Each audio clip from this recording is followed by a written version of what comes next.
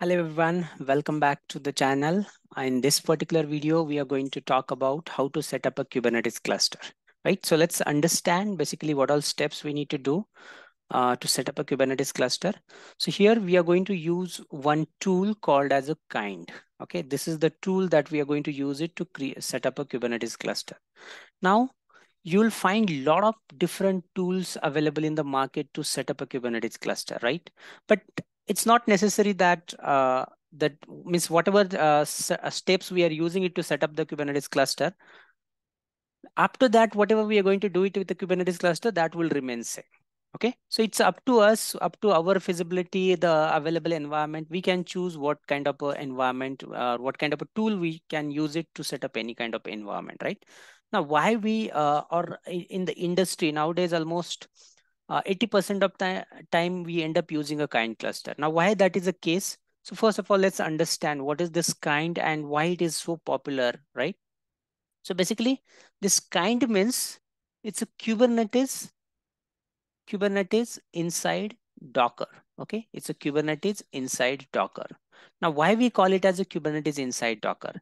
Because basically with the help of this kind tool, we can create a multi-node cluster on a single machine. Okay, so if we have one machine, on this machine, we can create a multi-node cluster. Now, how it is possible? So basically, with the kind, we can achieve it. So what this kind tool is does, okay, what uh, kind tool does is basically for that we need to provide one configuration file as an input, okay, and in that config file, okay, in that config file we need to specify that, okay, I need one master node, right? So about the Kubernetes architecture we have discussed in the previous video. So in this config file, we need to specify that how many master you required okay? And then basically we need to define the roles. Okay so where we'll define like okay uh, we'll have a master role. And then depending on how many workers we require those many worker roles we can define and when this file we give the input to the kind utility what it does first of all it will create those many containers okay it will create those many containers let's say in we want a three node cluster so it will first of all create three containers now we know that to create a container, we need an image. Okay. So what Kubernetes community has done is they have created an image. Okay. They have an image and inside that image, they have all the necessary components to set up a Kubernetes cluster. Like for example, uh, to set up a uh, cluster, we required a kubeadm, then we required a kubelet, now, what is Kubelet? What is Docker? What is kubeadm? All these tools we already discussed in the previous video. Okay. So basically, these are components of your Kubernetes cluster. Docker, all these tools are already part of this particular image. Okay. And from this image, we are readily just creating these containers. Okay. And then as soon as this three containers created, depending on this configuration, what this kind utility does, it will automatically create run an kubeadm init command on one of the container and then when this command is successful, okay, we'll get in a join command and that join command will also be added by the, uh, this kind utility will run that join command on all other containers. And that's how the Kubernetes cluster will be ready. Okay, that's how the Kubernetes cluster will be ready on a single machine. Now, as to create this kind cluster, it will hardly take around one minute. Okay, even a destroy that will happen in just a milliseconds, right? So nowadays, whenever you have any application, if you just wanted to deploy it on a cluster and test it, this kind cluster, with the help of this kind cluster, developers on their own machine, they can quickly create a kind cluster and then they can deploy the application and test it whether that's running as expected or not okay maybe just to run at unit test cases similarly if the testing team wants to mm, uh, do some more test cases okay they can also on their system they can just set up a kind cluster they, they can deploy their application and test it right and nowadays we we are already talking about the DevOps. Okay, it's a new trend. Okay, where uh, a lot of people, a lot of uh, software development lifecycle we are automating with the help of continuous integration and deployment. Right, in a continuous integration deployment as well, we need a lot of small, small environment where we can deploy the microservices, we can run a test cases, right? So that all you can achieve it with a kind, okay? We need your pipeline, you can just quickly create and one of the machine, you can quickly create an instant uh, Kubernetes cluster, deploy the application, test it, and you are done. Okay, you can just quickly destroy that cluster as well. Okay, so that's the reason nowadays this kind cluster is very, very popular. Okay, and everyone should be knowing about it, how to set up that cluster. Okay, so it's a very simple to set up.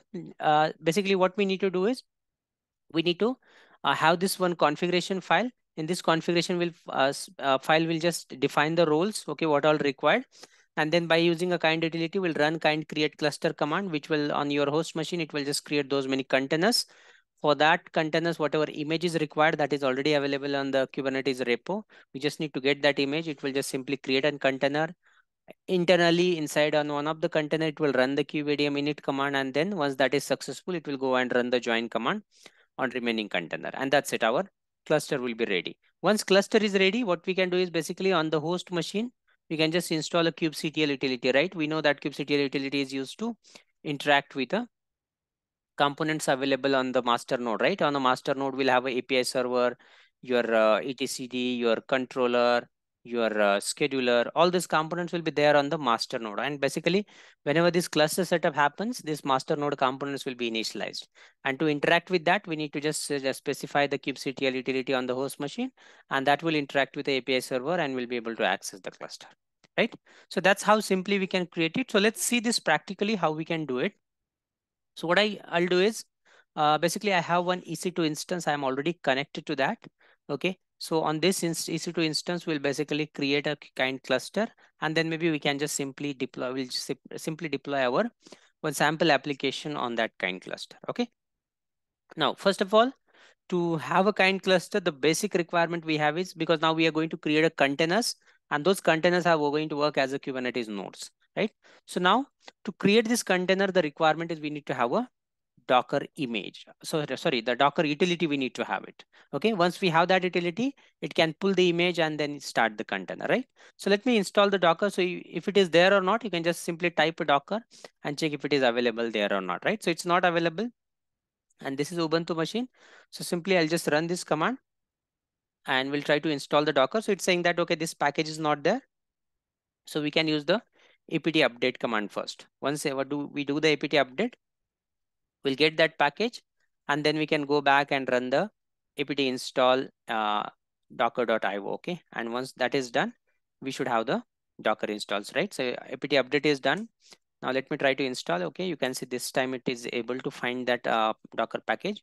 And now it's simply installing it okay? Once installation is done the next step that we'll do is basically we have to install a kind utility we need to install the kubectl then we need to define the configuration file. Okay. So let this finish the installation of the Docker and then we'll step by step do uh, further step. Okay. So Docker installation is done.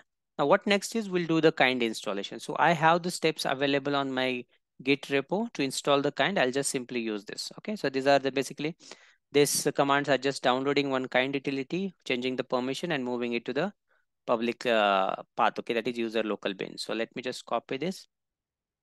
Simply we can try to run it. Okay you can see now we have the kind utility okay? It is showing the option.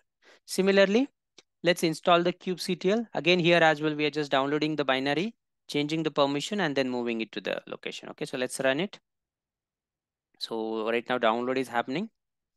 Once download is done we are just simply moving okay? And now we have a kubectl as well right Perfect. So we have all the necessary tools now.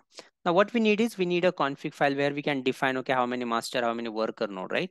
So let's go back and again, this is the sample template, how we can define the configuration, right? So let me just put it here. So here you can see this is a sample configuration where we are defining that, okay, we'll need a one master node. This control plane is nothing but a master node. And then we, we need a two worker node. That's what we have specified, right? So this is how your configuration file will look like. Now let me just save this file. And now we need to run the command kind create cluster. Okay, and then we can use hyphen hyphen config option and then give this config file as a path. Okay, I have this file directly in the current directory. So I'm using directly a file name, but if you have somewhere else, you can just give the relative or a complete path. Okay, so let's run it. So now, first of all, you can see it is pulling the image, right? The first thing that it will do is it will pull the Docker image. From that image, it will create the nodes. Now we have defined that three nodes we required, one master and two worker. So it will pull the image and it will create three containers, okay? So let's wait for it. First of all, it is now pulling the image. So the image required for this is around uh, 1 GB. Okay, so that's what it is pulling it now. So it should be done. And once image is pulled, you can see now it is saying preparing nodes and three boxes. Okay. Those three boxes represent that they, it is creating a three containers. Okay. Now, once three containers are created, what next it will do is basically on one of the container, it will start the control plane. That means it will start the init command, okay, which will internally initialize all your master node components like the API server, etcd, controller, scheduler, okay, all these utilities, uh, basically this master node components, it will initialize. And once those are initialized, it will set up all the necessary, the networks and all stuff. And then we'll get a, a message that, okay, your uh, cluster setup is completely, uh, basically the at the end, it will give you the one some join command and automatically it will run that join command on other containers as well. Okay. And finally, we'll get a message that your cluster is ready to use it, right? So still we are getting a message that it's a preparing the nodes. Okay, now it is saying the writing configuration. Now it is saying I'm starting a control means the control plane means on the master node, whatever the components we have like API server, etcd, controller, scheduler, it is just starting that. Okay. Now once it is started successful, it will just join the worker node. Okay, now the CNI plugin means it's a networking component it is initializing. And then finally it is saying that joining worker node and once worker node joining means it will go to the other two containers and then it will run this join command. And then now we should get a message that your uh, cluster setup is successfully done. Okay, now we are doing it for the first time. So it took some time to download that image, right? If you have the, if you want to do it and again and again, so that image will be available locally. So your cluster will get created even uh, less than the, the time it took now. Okay. So still joining the worker node. So it should be finished right now. Yeah, it's it's done, right? So to access the cluster, we can simply use kubectl get nodes. Okay. So you can see three nodes are there. It's showing one node not ready, but it should be ready now. Yeah. So let's understand how it has created. So first of all, you can do if if I run the docker ps command, you can see three containers it has created. Now these three containers are running as a your Kubernetes nodes. Okay. And that's what we can access by using a kubectl. It is able to list out all these nodes, right? So how how uh, this kubectl understand that I need to connect to this uh, cluster? First of all, you can see your API server runs on 6443 port. So that is that particular port is binded to 42655. That's a host machine port, right? We have already seen in the Docker that why we need to bind the container port to your host machine because we want to access it, right? So that's already done. And this particular configuration, the port and where it is running and all, those are basically automatically stored under home directory. Okay, there is a .kube folder gets created and inside that a config file will be there. Okay, and inside this config file, you can see this is the cluster details. Okay, this is a cluster certificate and where this cluster is running. Okay, by using this information, your kubectl utility will interact with the cluster. Okay. Now what I'll do, I'll just deploy the one sample application on the uh, sample application on the uh, your your Kubernetes cluster. Okay. So now for that, I'll use a Nginx image, which is publicly available on the Docker Hub. So how to create the pod for that? Okay. Pod is basically a logical object we have in Kubernetes, which we can use it to deploy our microservices, right? So how to do that? I'll just simply use a imperative command. Okay. Uh, in more detail about how to write the pod YAML, then how to create the pod from that YAML. That's something we'll cover it in another video. But in this video, I'll just simply create by using an imperative command. I'll create a pod object and I'll make it run. Okay. So let me do kubectl run command. We use it. Okay. kubectl run and we'll give the container name as let's say nginx and the image for this, I'm going to use it as a Nginx again. Okay, let's say latest. So this is the image available on the Docker Hub. I'm using it directly. And then if I just use the hyphen hyphen port, which runs on the 80. Okay, so let me run it. You can see it's a pod got created. Now to access the pod, we can use a kubectl get pod. Okay, and it's container creating. Now on which node it is running, if you want to see, you can use a hyphen o wide with the same command, right? So now you can see it's in a running state. It got this particular IP and it's running on the kind worker node. Okay, if you see, we have three nodes, right? So out of this, it is running on this kind worker. Okay. Now we, we already talked about how the scheduling happens and all. Okay, so we'll not talk about it again. You can just refer the previous video. So this is how simply you can set up a cluster by using a kind, and then we can deploy our sample, sample application. Now Kubernetes provides a lot of other objects like pod, deployment, config maps, secret. So we'll cover all those objects one by one in a separate video. Okay. So I hope uh, for now everyone understood how to set up a cluster. It's a very simple, straightforward procedure. Uh, so if you have any question, please put your comment in a comment section. Okay. So I hope everyone liked this video. If you're not subscribed channel yet, please do subscribe so thanks everyone.